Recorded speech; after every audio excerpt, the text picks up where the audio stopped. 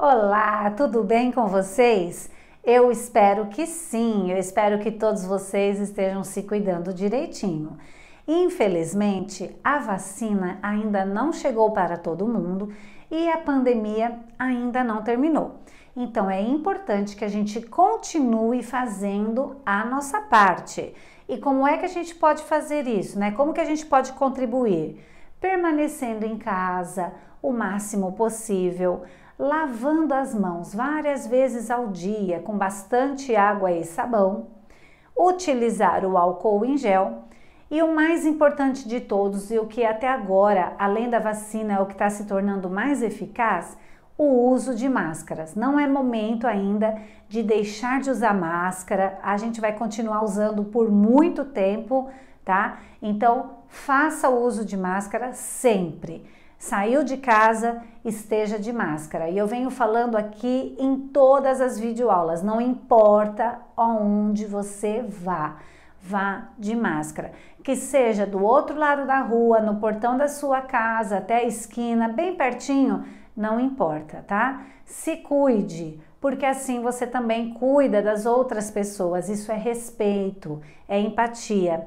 Então, por um bom tempo, né, como eu já disse, a gente vai continuar usando a máscara e só assim é que a gente vai conseguir ir diminuindo esses números aí que estão ainda muito elevados. Tá bom, pessoal? Então façam a parte de vocês, por favor.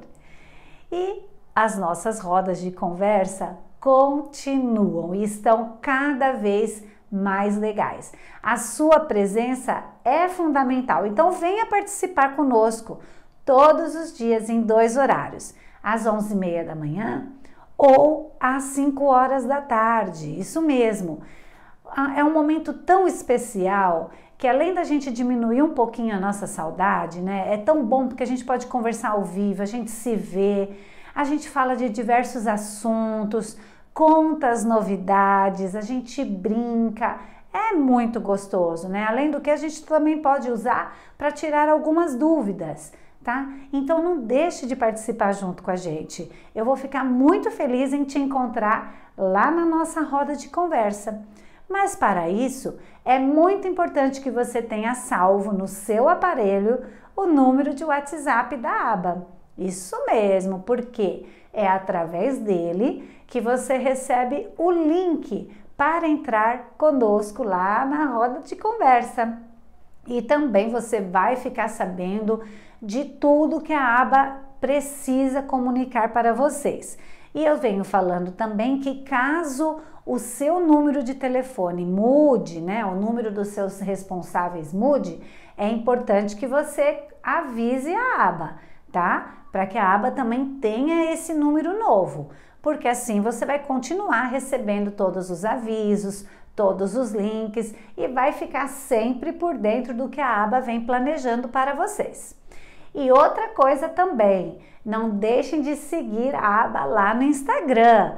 Passa lá agora mesmo, vai lá, salve, curta, comente, compartilhe todas as postagens que a aba faz por lá. É tudo preparado com muito carinho para vocês. Todo dia tem uma postagem nova. Então, não deixe de conferir. E hoje, pessoal, na nossa aula, nós trabalharemos um importante movimento técnico, que é o Gran Batimã. Eu vou explicar para vocês tudinho e depois a gente vai fazer uma sequência para treinarmos esse movimento.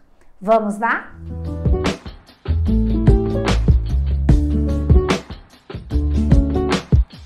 disse, nós trabalharemos o Gran Batimã na aula de hoje e nós vamos usar uma cadeira que ela servirá como apoio para a gente, tá? Então, se nós estivéssemos lá na nossa sala de aula, nós usaríamos a barra.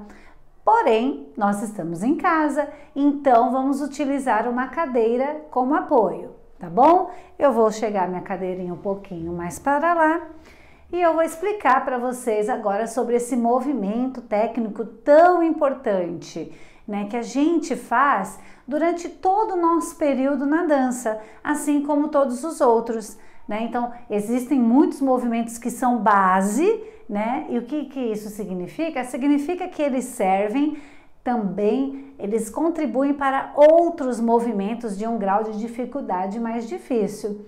Assim também é o Gran Batimã. Então, outros movimentos, eles partem, eles precisam que aconteça um Gran Batimã para que ele aconteça, tá? Então, é importante que vocês entendam bem como é que funciona a técnica do Gran Batimã, que vocês executem esse movimento corretamente para que os outros próximos que eu venha a ensinar para vocês que dependem dele, vocês possam realizar aí de uma maneira muito mais tranquila. Tá bom? Então vamos lá para a nossa explicação.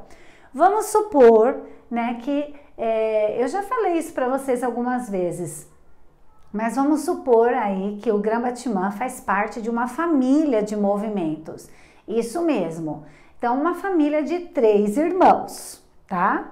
Que são, eu vou fazer até um pouquinho aqui na diagonal. Esses três irmãos são o Tandi, bom? Então vocês se lembram, né? O Tandi, eu arrasto meu pé pelo chão e a minha ponta permanece aqui no chão. Esse é o irmão mais novo, tá? Vamos dizer assim.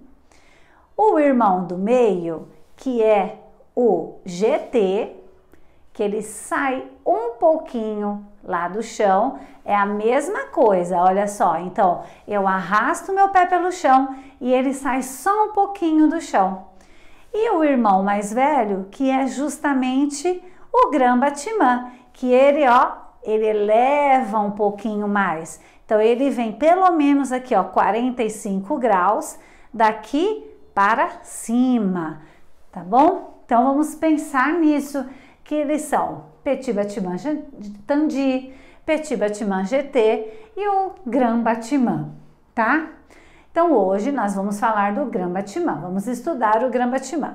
Como eu já falei aqui para vocês, ele parte do mesmo princípio dos outros dois. Eu preciso, para realizar o meu Grambatimã corretamente, eu preciso arrastar o meu pé pelo chão.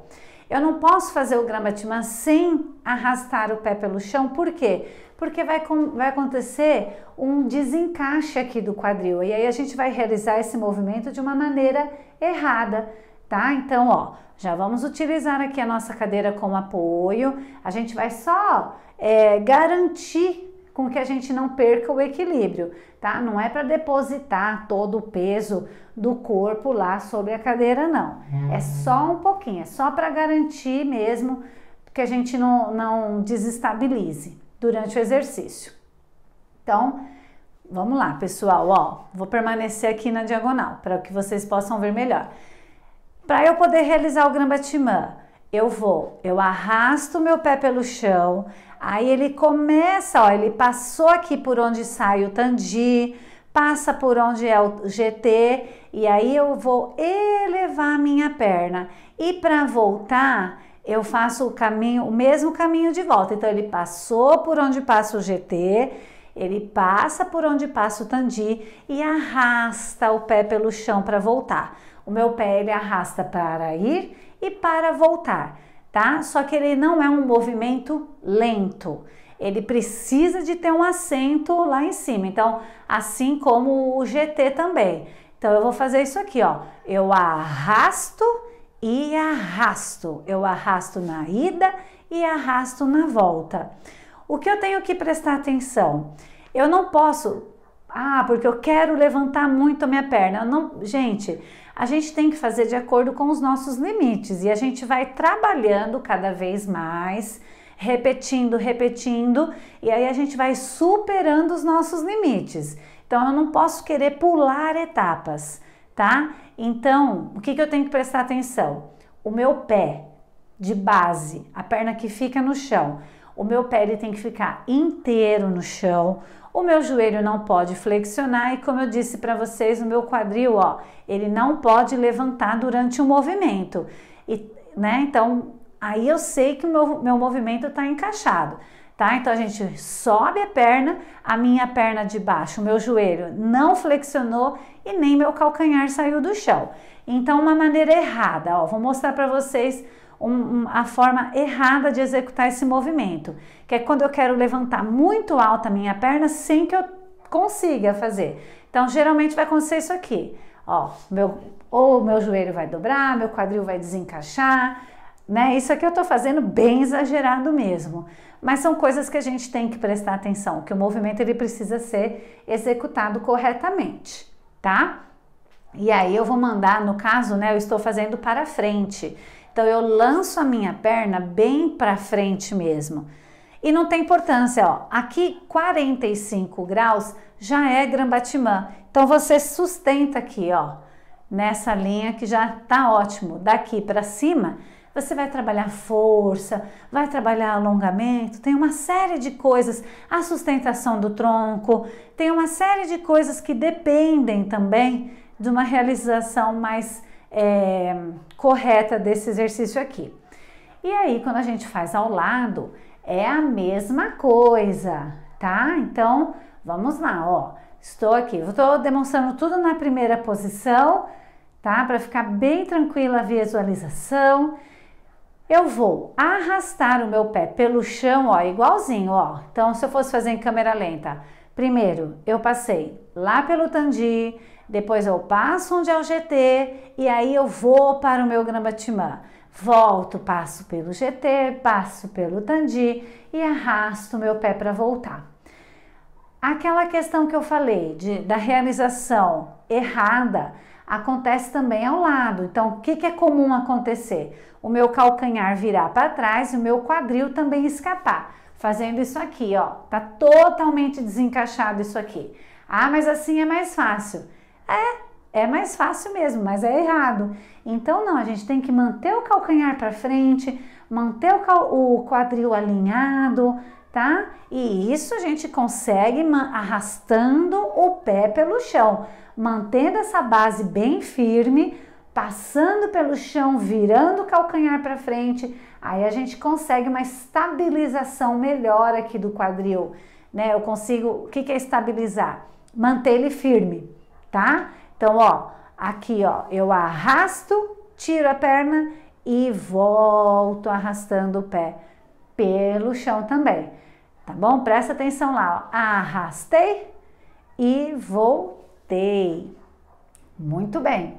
Então, são detalhes super importantes que dependem assim a realização correta do movimento. Começar de tudo, arrastar o pé pelo chão. E sempre eu tenho que pensar o quê? Eu tenho que liberar o peso das minhas pernas. Então eu não posso soltar o peso todo lá para baixo. Vamos pensar que daqui, ó, eu, eu tenho aqui, eu, eu vou separar meu corpo em dois, que é do tronco aqui para cima e as minhas pernas, tá? Então, do meu tronco e os braços aqui para cima, eu vou fazer de tudo para mandar o meu peso lá para cima, para que eu não sobrecarregue as minhas pernas, para que principalmente na hora que eu voltar, o meu peso tá lá para cima, o meu joelho não flexiona, porque na hora de fechar ele não pode flexionar. Se eu solto todo o meu peso lá para baixo, na hora que minha perna vai fechar, vai acontecer isso aqui, ó. O meu joelho vai fechar com ele flexionado. Então significa que eu soltei meu peso, meu peso está nessa perna aqui, ó. Então o espaço que tinha da minha perna não tenho mais, por isso que o joelho flexionou. Então quando eu cresço, ó, a minha perna cabe certinho lá debaixo do meu corpo. Então eu preciso manter esse crescimento lá em cima. Então essa é a explicação do Gramatimã e agora eu vou passar para vocês como é que nós treinaremos esse exercício na música. Nós vamos permanecer na primeira posição, nós vamos focar no movimento Grambatimã, tá? Então não vamos trocar a posição, a gente vai permanecer com o braço durante a cintura e a mão para, para trás durante todo o exercício, porque eu quero focar mesmo no movimento, tá bom? Então nós iniciamos com os braços aqui em Brabá. Na introdução da música, vamos realizar a preparação, tá? Aí a gente apoia a nossa mão esquerda aqui na cadeira bem levemente. Não vou depositar todo o meu peso na cadeira, não. É só um apoio mesmo para me ajudar com o equilíbrio e eu trago minha mão direita aqui na cintura ou para trás se são os meninos, tá? Então vamos lá. Olha só. Nós vamos realizar quatro grambatimãs para frente, daquele jeitinho que eu expliquei para vocês, arrastando o pé pelo chão. Tá bom? Então, olha só, arrasta, cresce. Primeiro vamos pensar assim: lembra do fiozinho que puxa a gente lá para cima? Então, ele tá me puxando, me puxando. Então, eu vou mandar todo o meu peso lá para cima, vou crescer, crescer em direção ao teto e vou arrastar o meu pé pelo chão. Ó, arrasto lá na frente, ó. Um e fecho no número dois. Arrasto de novo no três e fecho no quatro, lá na primeira posição arrasto para ir no 5 e arrasto para fechar no 6 e arrasto no 7 e arrasto para fechar no 8. Muito bem, fizemos quatro para frente. Agora nós vamos fazer quatro gramatimãs a la secom, para o lado. Então, arrasta e arrasta para voltar dois. Arrasta e sobe. Três, arrasta e fecha 4. E subiu 5, arrastou o pé pelo chão 6, mantém o calcanhar virado para frente, arrasta 7 e fechou 8. A música vai continuar e a gente vai repetir a mesma coisa que a gente fez agora. Arrastamos o pé lá para frente e um, fecha dois, arrasta e fechou e 5, fecha 6, arrasta e fecha 8. E para o lado, arrasta 1 um e fecha 2.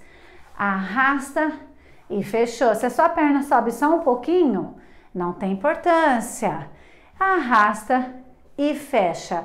A música vai terminar. Nós vamos colocar os braços aqui no brabá novamente para esperar a música começar de novo, porque a gente vai repetir tudo com a perna esquerda. E aí o que, que você vai precisar fazer? Você vai pausar o vídeo, vai trocar a sua cadeira de lado, tá? Ó, vamos lá. Então tem que fazer isso, né? Você vai trocar a sua cadeira de lado para poder repetir toda essa nossa sequência com a perna esquerda. Vai fazer a preparação apoie a mão direita lá na cadeira e a outra mão na cintura ou atrás. E começamos arrastando o pé lá para frente. E um, fecha, dois, arrasta, três, arrasta, quatro. E lembra do fiozinho te puxando lá para o teto. Arrasta cinco, arrasta seis e sete e fechou. Agora lá para o lado. E um arrasta dois, três arrasta quatro, cinco arrasta seis, arrasta sete, arrasta oito e repete. Um fecha dois, três fecha quatro. Olha o barulhinho, ó, da minha sapatilha, arrastando o pé pelo chão. Isso, quatro. E cinco, arrasta seis. E sete, arrasta oito. Essa é uma boa dica. Então, eu preciso escutar o barulhinho do meu pé arrastando lá pelo chão. Tá bom? Isso aí é uma, uma dica bem importante e um sinal aí que a perna precisa arrastar. Então, caso você precise, volte o vídeo, assista novamente a explicação Procure entender o exercício e aí você repete junto comigo na música. pessoal,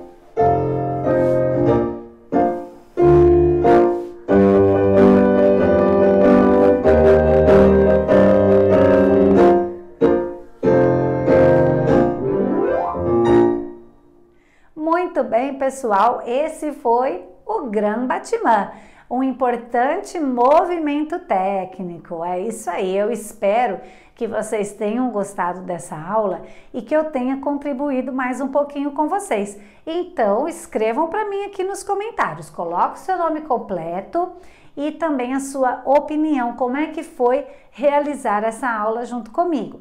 É muito importante que vocês me escrevam aqui através dos comentários e que eu fique sabendo é, da experiência de vocês tá?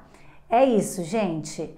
Eu espero por todos vocês aqui para a nossa próxima aula e também os aguardo nas nossas rodas de conversa. Um super beijo e até a próxima!